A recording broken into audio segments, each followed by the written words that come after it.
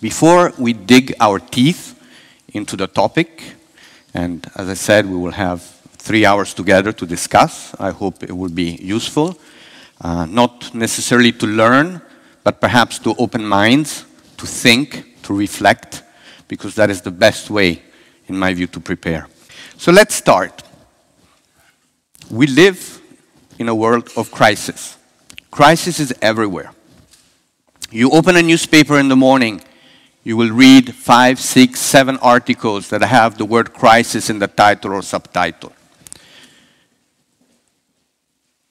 Online, offline, everywhere, everything is a crisis today.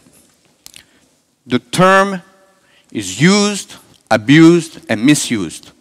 The result is that not only we no longer have an understanding of what crisis is and means, we confuse it with issues, with emergencies, with events. But also, I think the net effect is that we become numb to the term. We don't feel the term anymore. Crisis is a very strong term, it's an emotional term. But this overexposure to crisis means that we no longer feel what a crisis really means and how a crisis really feels.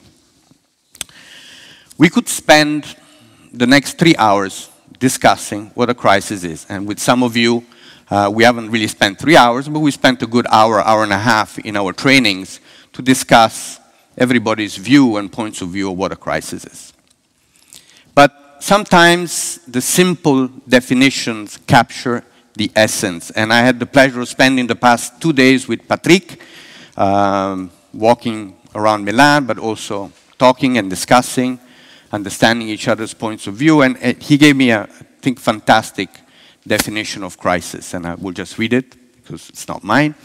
Crisis is the destruction of our points of reference. Hmm? Think about that for a second. Crisis is the destruction of our points of reference. We find ourselves in a universe we don't know how to navigate. That is what a crisis is. And we will explore, thanks to Patrick, this topic. One thing we can say, though, is that crisis is unpredictable. This is a fact. Crisis is unpredictable. Many times when I meet with clients, they tell me, oh, we don't need crisis management. We have a fantastic risk management system. We have all our risks are anal analyzed, and we also have business continuity. And it's just, we don't need crisis management. We don't need crisis preparedness. The truth is that the events that we identify and plan for don't materialize, and that the events that materialize are those we did not expect. That is the reality. But despite the abuse of the term, the fact that we continuously hear about crisis, it's the prime minister, it's the Movimento Cinque Stelle, it's uh, this company, it's that company, it's an earthquake, it's a tsunami, whatever it is, the reality is that crises have become more frequent crises not only have become more frequent, they have become more intense. And not only have they become more intense, they span a longer period of time. So the question is, why is that? What has changed in the past decade to put us in this situation? Why are crises more frequent? Why are they more intense? Why do they span a longer period of time? So let me share with you a few thoughts. The first, naturally, I think we're all aware, is the cutthroat competition within the media industry to capture viewers, to capture readers, and to keep them glued to websites, to traditional media, or to TV. So in this environment, everything has become hyper. And this, of course, is further uh, emphasized by 24-hour news cycles, 24-hour TV channels, um, and so on. So the cutthroat competition for reader and viewers pushes traditional media to battle it out. And the way they battle it out is by making everything hyper. Everything is breaking news. Everything is updates of breaking news. But there's a new dimension, which some of you may have noticed, which is investigative journalism. In this cutthroat competition between media outlets, what we're seeing is media outlets creating special teams, And it's very interesting. You can go on the New York Times website uh, to look at their investigative, investigative team. Um, there is another website which is called Bellingcat, which you may have heard of recently. They analyzed the videos from Iran to try and understand what had happened to the airline uh, that was unfortunately hit by, by uh, Iran uh, missiles. So just to read you a little quote, the leader of the New York Times investigative team, broadly, an investigative story is discovering things that are not known, that have a real impact, and are questionable in some way, either legally, ethically, in terms of whether people are violating the public trust.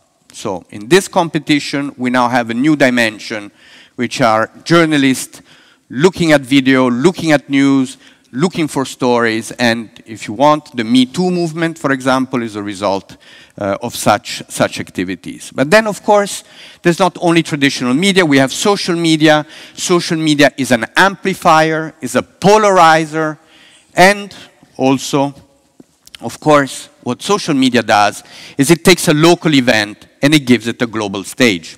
This is something that did not exist 10 years ago. This is something that 15 years ago did not exist. We used to think local media, regional media, national media, international media. That distinction no longer exists. A local event, in the fraction of a second, goes on a global stage. Then again, there's other things to look at. Organizations, NGOs, citizen movements, think protests in Hong Kong, think Gilets jaunes, think Lebanon, are better organized and better prepared. They represent today a greater threat. Regulations.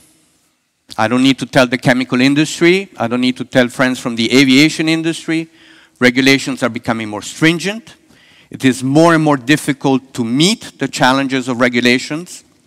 And of course, it's very easy not to follow the regulations, not because you want to, but simply because it is so complex, something may have slipped.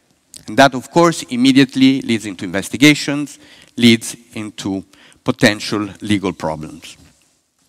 And then again, more and more sophisticated analytical tools allow us to detect in food, in cosmetics, um, all sorts of subatomical particles, contaminants, that immediately create, create a problem.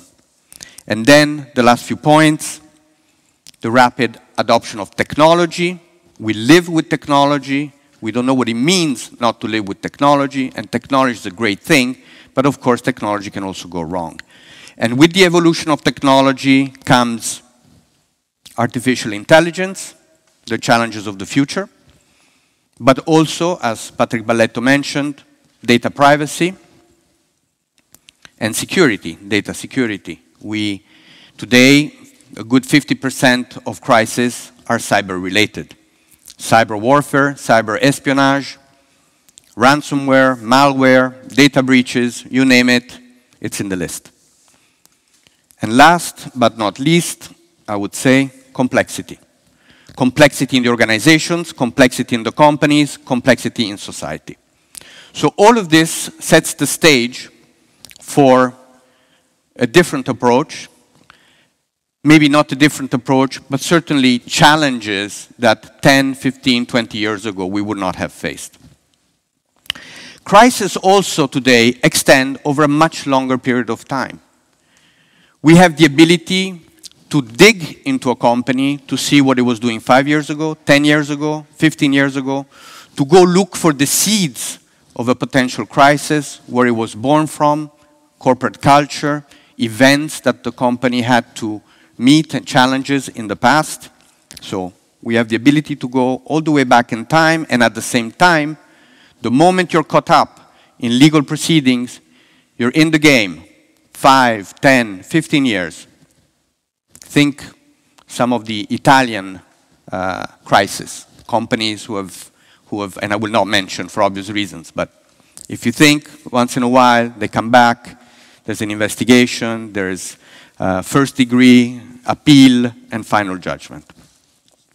So all of this may already seem a big challenge, but in reality, that's not all, unfortunately, because we need to put this in the context of what's happening in Western societies. And this is really very, very important. There are two words that I would like to mention, and I will spend the next few minutes discussing each. The first is trust, fiducia, trust. The second is truth, verita. These two words are, in our context, extremely important. Let me, let me talk about trust for a second, and I have not prepared a presentation, but I do want to show you two slides. Because every study that has been conducted, either internationally or in Italy, points to one very simple fact. We don't trust anybody or anything anymore. This is a very recent uh, research published by La Repubblica in December. I will not comment it. I will let you take a few seconds to look at the green column, which is quite important to look at. And then, of course, to look at the left, at the right, left for you, right for me, column with the different categories. And very few pluses, lots of minuses, and this is just over a decade. If we went back another decade, I think we would be completely baffled by what is happening. And if you just keep your eye for a second on the top line, Forze dell'Ordine, then you may not be surprised to see this. So, just thought I'd uh, get a smile on your faces before, uh, before we continue. So, Trust, we don't trust as citizens, as managers, as probably politicians, anything or anyone. But then there's another problem, and it's the problem about truth. There's a very nice little book, if you have some time and you read English, by Michiko Kakutani who's not some strange Japanese uh, researcher, but he's the editor of the New York Times Book Review, who wrote a book published two years ago called The Death of Truth.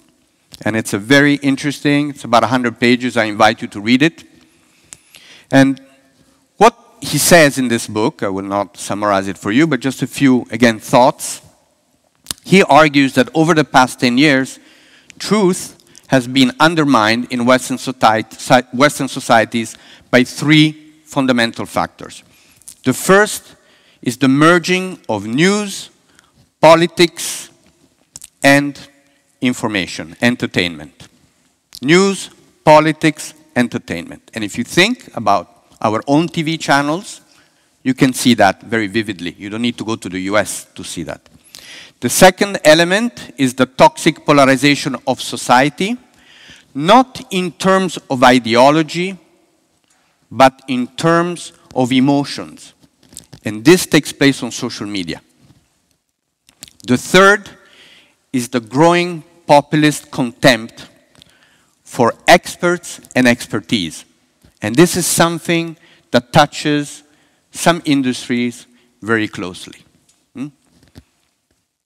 Barack Obama, the former US president, observed one of the biggest challenges we have to our democracy is the degree to which we do not share a common baseline of facts. People today are operating in completely different information universes. So, we live in a world of facts, and yet we also live in a world of alternative facts. Hmm?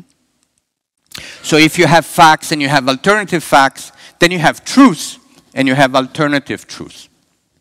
And this becomes extremely difficult to manage. So not only have we stopped trusting, but we live in a world of multiple subjective truths.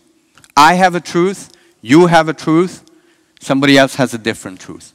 What's happening is we're no longer seeing events through the same lenses as we did in the past, but each of us, or each group or subgroup, looks at events through their own particular lens.